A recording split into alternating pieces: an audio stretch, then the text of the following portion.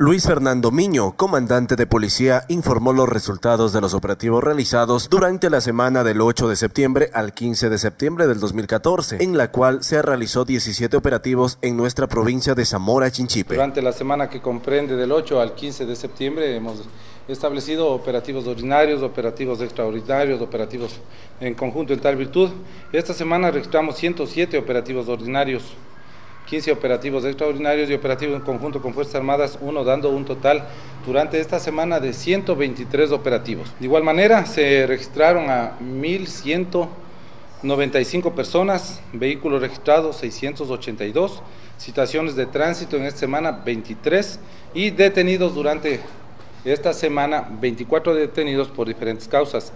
Es así que detenidos por contravenciones registramos 8 por boletas de apremio, dos por algazaras nocturnas, uno por protagonizar escándalo público y uno por agresiones físicas, dándonos un total de 12 detenidos por contravenciones. De igual manera, por delitos, registramos nueve por violencia intrafamiliar y por el presunto delito sexual, uno durante esta semana. Delitos de tránsito registramos dos por conducir en estado de embriaguez, dando un total de 12 detenidos. Miño también dio a conocer que se decomisó 300 galones de combustible, en la cual también se registraron accidentes de tránsito en varios sectores. En esta semana, como notas de importancia, se ha decomisado combustible en un número de 300 galones de combustible diésel, mismo que no fue justificado por quienes estaban transitando con este producto.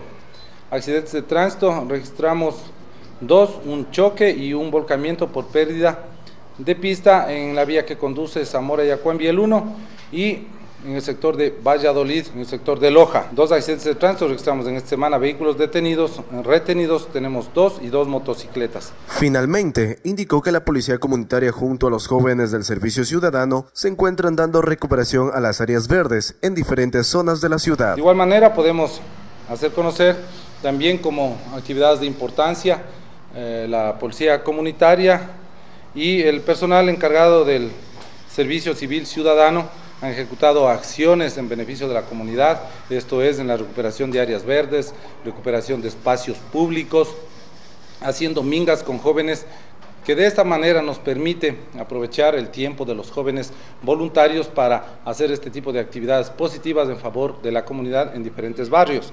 Eso lo vamos y lo seguiremos haciendo semana a semana. Para el informativo Visión, reporta Cristian Pérez.